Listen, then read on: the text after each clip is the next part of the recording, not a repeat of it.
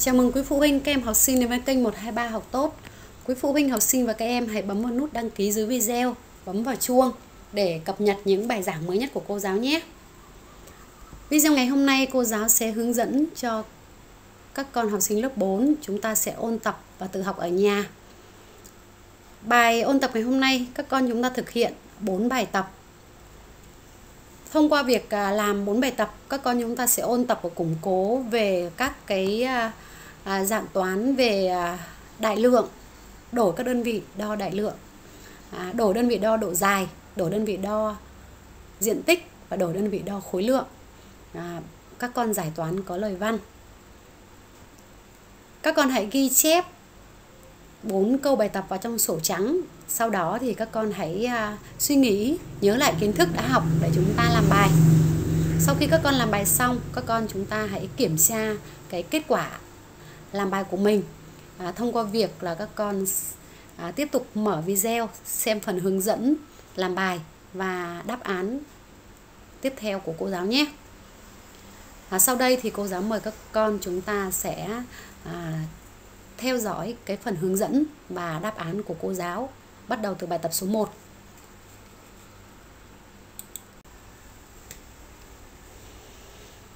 Bài 1 viết số thích hợp vào chỗ chấm. Bài 1 các con chúng ta sẽ đổi các đơn vị đo độ dài. Đổi từ đơn vị lớn thành đơn vị nhỏ và đổi các đơn vị đo độ dài nhỏ thành các đơn vị đo độ dài lớn. Để đổi được và viết số phù hợp thì các con chúng ta sẽ phải nhớ lại kiến thức về bảng đơn vị đo độ dài đã học chúng ta sẽ cùng cô, ôn tập và củng cố lại các đơn vị đo độ dài đã học chúng ta có 7 đơn vị đo độ dài đã học. Lớn nhất là km, đến hectomet, đến decamet đến mét, đến decimet cm và mm 7 đơn vị đo độ dài đã học này được sắp xếp theo thứ tự từ lớn đến nhỏ. Các con chúng ta sẽ phải thuộc và nhớ cái vị trí thứ tự của 7 đơn vị đo độ dài này. Hai đơn vị đo độ dài liền kề thì hơn kém nhau 10 lần. 1 km bằng 10 hectomet. 1 hectomet bằng 10 decamet. 1 decamet bằng 10 mét. 1 mét bằng 10 decimet. 1 decimet bằng 10 cm và 1 cm bằng 10 mm dựa vào mối liên hệ giữa các đơn vị đo độ dài để chúng ta đổi các đơn vị đo độ dài. Sau đây, mời các con chúng ta cùng cô chúng ta thực hiện làm bài tập số 1. A 3 km bằng chấm chấm chấm mét. Từ đơn vị km đổi ra mét, thì 1 km sẽ bằng 1000 mét. Cho nên 3 km đổi ra mét, chúng ta sẽ lấy 3 nhân 1000. Chúng ta sẽ được là 3000 Tương tự 12 mét đổi ra dm. 1 mét sẽ bằng 10 dm cho nên 12 mét. đổi ra dm ta lấy 12 nhân 10 sẽ bằng 120 decimet. 3 km 54 m đổi ra mét. 3 km sẽ bằng 3 nhân với 1000 bằng 3000 m cộng thêm với 54 m sẽ bằng 3054 m. 7 m 4 cm đổi ra cm 7 m đổi ra cm sẽ bằng 700 cm cộng thêm 4 cm chúng ta sẽ được 704 cm tương tự như vậy, ý B. 2600 dm đổi ra mét. Đây là đơn vị nhỏ, đổi ra đơn vị lớn. Chúng ta có 10 dm thì bằng 1 mét. Cho nên 2600 decimet đổi ra mét thì chúng ta sẽ lấy 2600 chúng ta chia cho 10 sẽ được là 260 mét. Viết số 260 4200 cm đổi ra mét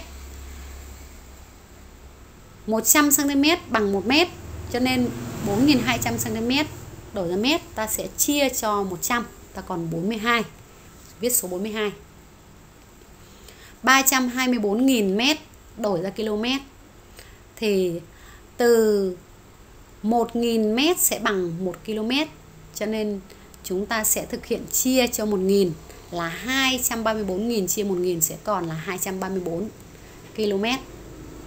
300 430.100 dkm đổi ra km. 10 dkm à 100 dkm sẽ bằng 1 km. Ta sẽ lấy 430.100 chia cho 100 sẽ còn là 4.301 km. Như vậy chúng ta vừa hoàn thành bài tập số 1 các con chúng ta kiểm tra kết quả của mình. À, chúc mừng các con đã làm bài đúng.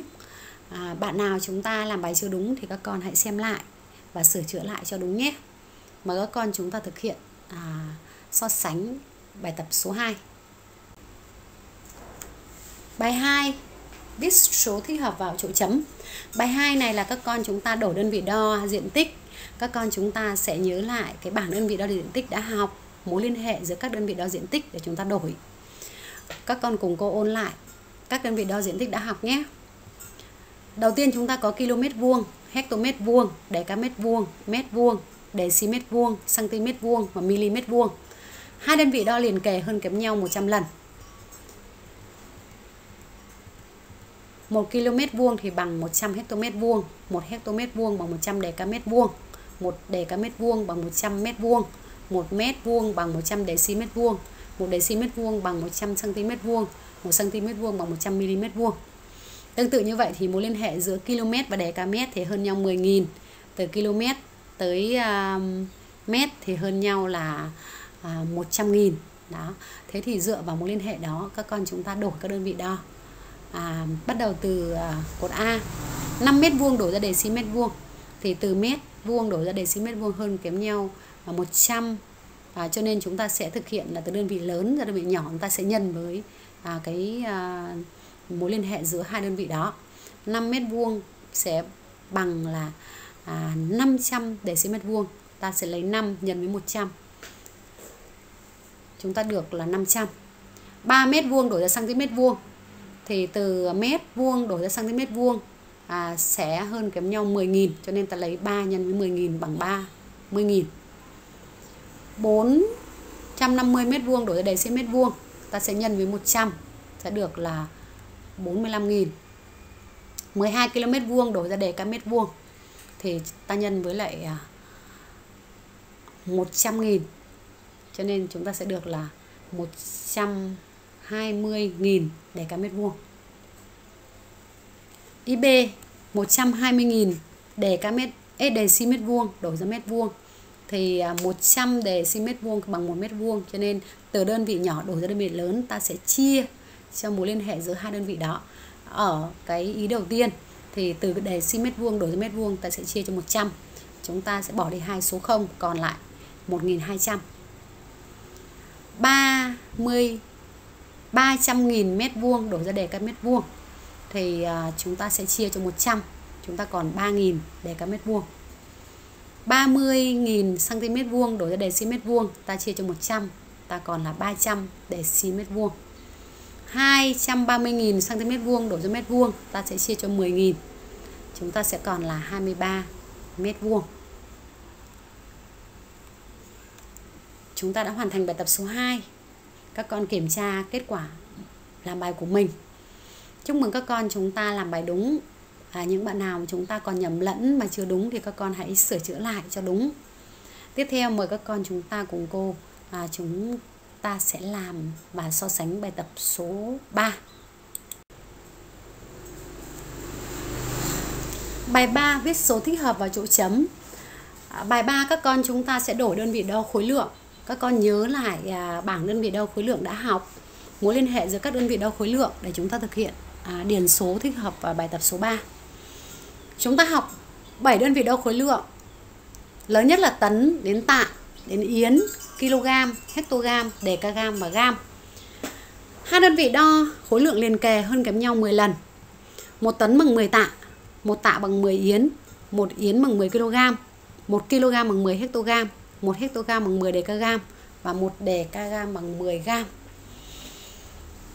Chúng ta dựa vào mối liên hệ các đơn vị đo khối lượng để chúng ta đổi và điền số ở bài tập số 3. Chúng ta bắt đầu đổi 20 tạ bằng chấm chấm chấm kg. Từ tạ đổi ra kg thì một tạ bằng 100 kg, cho nên chúng ta sẽ đổi 20 tạ bằng kg thì chúng ta sẽ nhân với lại 100 20 nhân 100 sẽ bằng là 2.000 kg.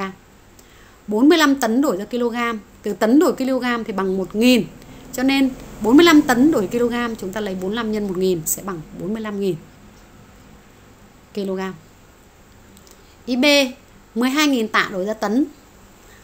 Ta có 10 tạ bằng 1 tấn, cho nên 12.000 tạ đổi ra tấn, ta sẽ lấy 12.000 tạ chia cho 10 Vậy 12.000 tạ chia cho 10 chúng ta sẽ bỏ đi một con số 0 ta còn là 1.200 tấn. 23.000 kg đổi ra tấn.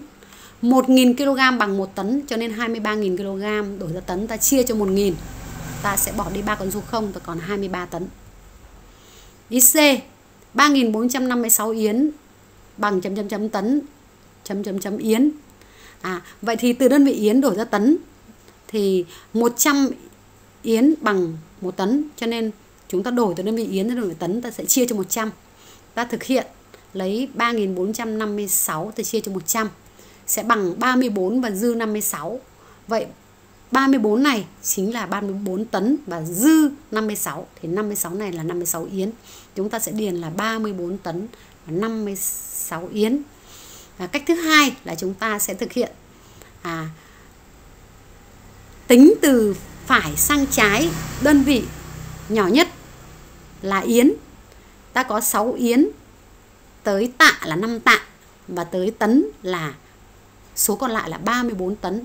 À, đơn giản chúng ta sẽ tính từ phải sang trái từ đơn vị nhỏ đến đơn vị lớn. Vậy ta có 34 tấn và 56 yến. Chúng ta sẽ điền 34 tấn điền 56 yến. À, đó là cách chúng ta đổi ở IC. Tiếp theo chúng ta đổi 1929 gram bằng kg chấm chấm chấm gam à, tính từ phải sang trái thì ta có 9 gram. 2 đecagam 9 hectogam và 1 kg. Vậy chúng ta có 1 kg còn lại là 929 gram. Chúng ta viết 929 tương tự 349 kg đổi ra tạ đổi ra kg. Ta có từ phải sang trái là 9 kg đến 4 yến và 3 tạ. Và ta điền số 3 tạ và 49 kg 23.456 kg đổ ra tấn và kg tính từ phải sang trái, ta có 6 kg 5 yến 4 tạ 23 tấn. Ta viết số 23 tấn và 456 kg ta đã hoàn thành xong bài tập số 3 các con chúng ta kiểm tra lại kết quả xem là mình đã làm đúng chưa và chúc mừng các bạn chúng ta đã làm bài đúng à, bạn nào chúng ta chưa đúng thì các con chúng ta hãy xem và sửa lại cho đúng nhé tiếp theo mời các con chúng ta cùng cô thực hiện kiểm tra bài tập số 4 nhé Bài 4, một trang trại trung bình mỗi tháng cho gà ăn 17.250 kg thức ăn. Hỏi trang trại đó sẽ phải dùng bao nhiêu kg thức ăn cho gà trong thời gian là 1 năm 3 tháng. Các con đọc kỹ bài toán xem bài toán cho chúng ta biết gì, bài toán hỏi gì để chúng ta định hướng cái cách giải bài toán nhé. Bài toán cho biết trung bình mỗi tháng gà ăn 17.250 kg thức ăn. Bài toán hỏi phải dùng bao nhiêu kg thức ăn trong thời gian 1 năm 3 tháng. À, vậy thì à, chúng ta đã biết một tháng gà ăn bao nhiêu rồi. À, vậy thì một năm 3 tháng gà sẽ ăn bao nhiêu cần bao nhiêu cái ờ, kg thức ăn thì trước tiên chúng ta phải tìm xem một năm 3 tháng là bao nhiêu tháng một năm có 12 tháng, thêm 3 tháng nữa thì chúng ta sẽ lấy 12 cộng với 3 bằng 15 tháng biết một tháng gà ăn 17.250 kg thức ăn rồi thì chúng ta sẽ thực hiện lấy 15 tháng nhân với số thức ăn trong một tháng, sẽ ra được số thức ăn cần cho gà trong thời gian 1 năm 3 tháng. Các con hãy trình bày bài giải của mình nhé. Bài này chúng ta sẽ giải à, bằng à, hai lời giải, hai phép tính. Lời giải thứ nhất, tổng số tháng gà dùng thức ăn là 12 cộng 3 bằng 15 tháng. Lời giải thứ hai, số thức ăn cần dùng cho gà ăn là lấy một 17.250 nhân 15 bằng 2.000 à, 258.750 kg. Đáp số 258.750 kg thức ăn. Ngoài ra các con chúng ta có thể là à, trình bày bài giải bằng cách là gộp hai phép tính lại à, và sử dụng một lời giải. Cách trình bày cách thứ hai như sau. Số thức ăn cần dùng cho gà ăn là mở ngoặc 12 cộng 3 đóng ngoặc. Đây là số tháng của 1 năm 3 tháng. Sau đó nhân với lại 17.250 là cái số thức ăn trong một tháng bằng 258.750 kg. Đáp số 258.750 kg thức ăn. Các con chúng ta kiểm tra lại xem chúng ta đã làm bài đúng chưa. Chúc mừng các con chúng ta làm bài đúng. Còn những bạn nào chúng ta làm bài chưa đúng thì các con hãy kiểm tra lại, sửa chữa lại cho đúng nhé. Cô vừa hướng dẫn cho các con thực hiện ôn tập làm 4 bài tập.